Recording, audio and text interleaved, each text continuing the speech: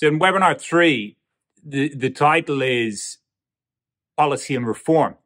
Have we created a subprime market for carbon credits? Because one thing is clear, it's it's difficult, I would say, for buyers to really know what is good and what is not. And part of that is related to additionality. Part of it is related to the structure in the market. Part of it is due to government regulation or a lack of government regulation, direction setting.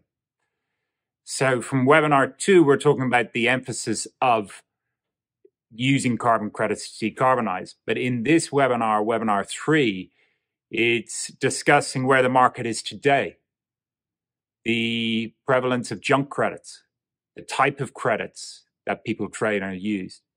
Really asking the credit uh, the, the question if credits are to play such a significant part in net zero and into achieving our Paris Agreement 1.5 goal, do we today have a market that's fit for purpose?